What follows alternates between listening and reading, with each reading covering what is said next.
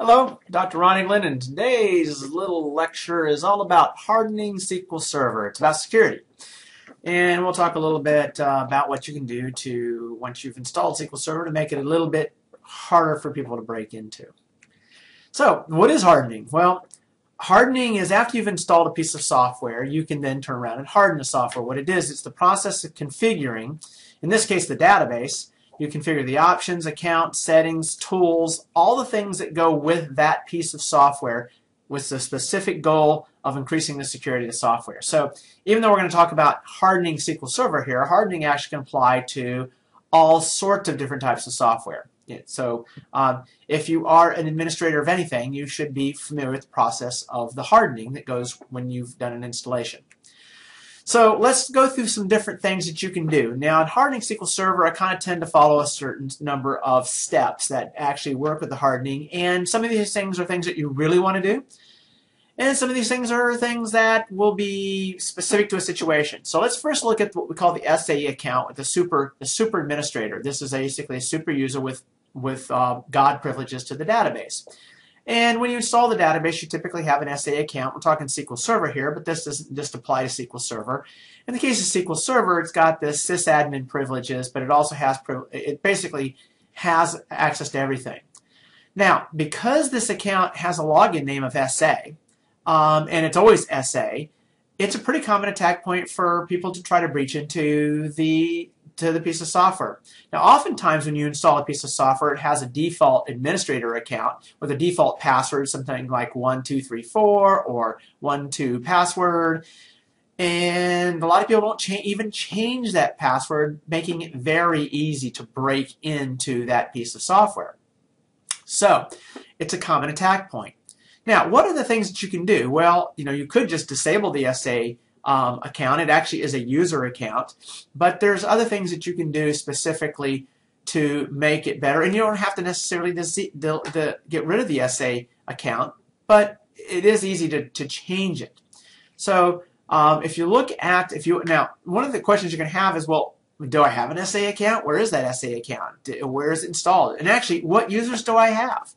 Well, if you look here, um, I'm looking at the database here. If I look at my master database and I look underneath security and I look underneath users, hey, there's my accounts. There they are. Um, I've got these specific accounts that are there, and they're all going to have specific roles and privileges. I'm not actually getting into roles and um, users specifically in this lecture, but uh, I do want you to understand that specific users will have specific roles, and some roles are definitely more dangerous than other roles. Um, but if you notice, in this case, no SA. It's because I renamed it. Now, what if the, some this, if you want to know the SQL commands to do this, they're relatively straightforward. Um, I'm not going to go every single SQL command that you do, but uh, let's suppose you did want to change that SA account there. Well, in this case, you'd use the master, um, which you should be familiar with. Use master, and you can disable it. Alter login SA disable. That's pretty simple. Or you can alter it by changing it to a new name, uh, which actually makes it less vulnerable because people that are trying to attack your server typically try to attack it with the name SA. Well, if the name is an SA, it's not going to work. That would be an alter login, and you're essentially changing the name there. So uh, in this case, I am showing you pretty much everything you can do here. You can do with the tools or with SQL um, to, to make this the database harden. So SA account, first step in hardening. So you're going to have other accounts that are in the database, and some of them are going to be vulnerable. Now, of course, the most vulnerable accounts you're going to have are ones with sysadmin role, specifically because they've got so much uh, capability of being able to do things on the, on the database. Now, when you're doing role management, role management should really be finding out exactly what a user that might be logging into your database needs to do and giving them those privileges that are specifically with that, and those privileges are roles. If they don't need high-level roles, don't give them high-level roles. But the ones that you're going to really look for are ones that have sysadmin and the other ones that have control server permissions. Uh, those can be extremely dangerous because you have the capability of doing a lot of things. Now, of course, sysadmin does actually have control server permissions. So control server is a permission, sysadmin is a role. So, um, and you should be, at this point, at least some level of familiar, familiarity with roles, permissions, and users. What about built-in administrators? Um, well, a built-in administrator, those are typically do actually have a high level of vulnerability also. And if you want to see those built-in administrators, you can use this simple script right here where you're actually coming uh, select star from sys um, server principals. Remember that you do have, now you have to be logged in with the ability to actually see sys.server principals uh, where the name is equal to, and then n actually just defines it as a standard character string, built-in administrators. And that, that will uh, look, that will, that will give you which ones are there.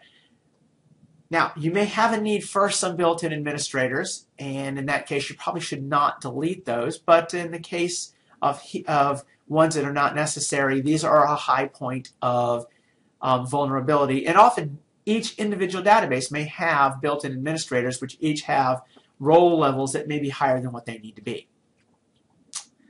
So that's one. That's looking at the users and specifically at that SA user, which is the highest level of vulnerability for most databases. But let's look at the next one here, stuff. You oftentimes, if you install SQL Server, if you actually install most modern databases, you're going to have a lot of other things that get installed with it, like reporting services and integration services and analysis services and notification services. Any service that's running um, is basically another door to the house it can be broken into. If you get rid of those doors or disable those doors, you're going to make yourself more secure. So what's the easiest way to see what all those doors are on your computer? Well, this was pretty straightforward. Just go to the Services Manager. The Services Manager does show you them. All the SQL Server um, roles are typical. I, I, believe that every single one of them actually starts with SQL or SQL Server as the name of the service. So you can go and you can look specifically at, you know, here's these services, okay, here's where they're running. Some do need to be running. Some don't need to be running. Okay, many of them are, are going to be by default set to automatic, which automatic typically means that guess what?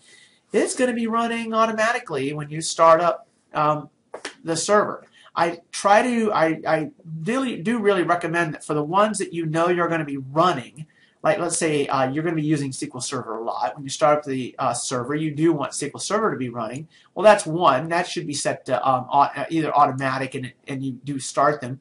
But these other server services, if you need them, go and start them manually. It's pretty straightforward. Now you're going to see in my case, I got most of these guys up and running and started. Well, why? Because I teach the stuff and I use them all the time for lectures and other things. I do think that it's probably I could probably go and shut them down afterwards, but uh, I'm also behind a very very safe firewall, which also is another thing to look at. Is that if you're uh, behind a firewall, you do have at least one level of safety. People are typically not going to be sniffing each one of these individual ports that these things operate underneath so they can find a vulnerability. Authentication. Um, now, SQL authentication is that you can create users in SQL Server. They uh, have their own login, they have their own password. General rule. Um, if you can not have an extra login and password, don't. Okay, that's just a pretty good security rule.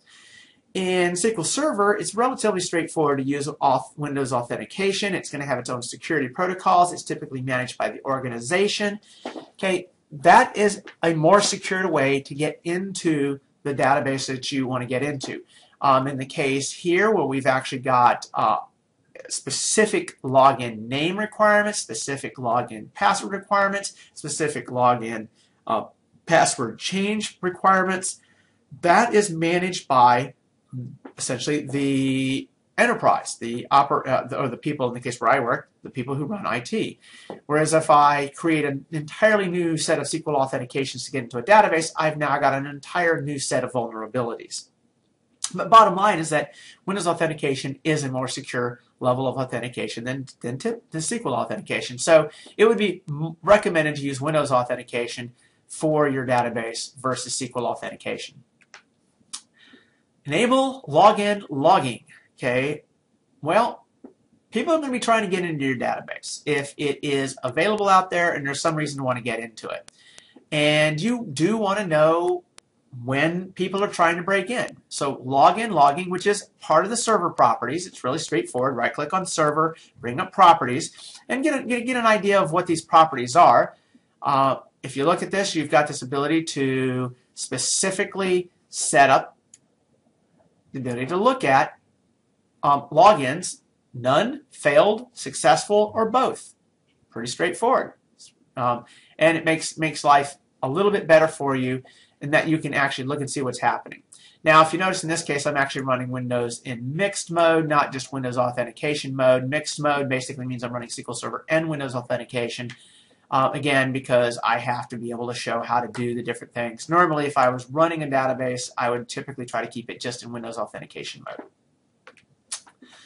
So, Another thing you can do, you can change the default ports for SQL Server. Uh, if you're somebody who is a hacker and you're actually an experienced type of hacker, you're going to know what the default ports are. So you're specifically going to sniff those ports and test for vulnerabilities on those ports. But you can change the port in SQL Server to be any open port, which just makes it that much more difficult to find the door. Another one is broadcasting. In SQL Server Configuration Manager, um, if I go into SQL Server and I want to see what all SQL servers are available on my network, well, right now, anyone that's got broadcasting running, I am going to see it by default. Well, you don't have to announce your presence to the world there. You can turn that off. And again, that's turned off through the SQL Server Configuration Manager, which was, by the way, shown in the last slide. Some other things that you can do. Uh, one of the most obvious things that you can do is service packs. Keeping the service packs up to date, uh, both for the Windows version you have, Windows Server, or um, whether your desktop, and for SQL Server, they're typically going to have the latest security enhancements that go with that. The other thing is also that you have at least a decent software password policy. Uh, some passwords are relatively straightforward, and you know if you're if you're just playing baby hacking, and you go in, you might try passwords like 1234. That's a very common password that people use all the time. It's amazing how many times you can get into systems by simply doing that. That would not be considered a strong password. Strong passwords typically are um, you know, greater than eight characters, contain at least one uppercase, have at least one character that is not a, a, numeric or a alpha character.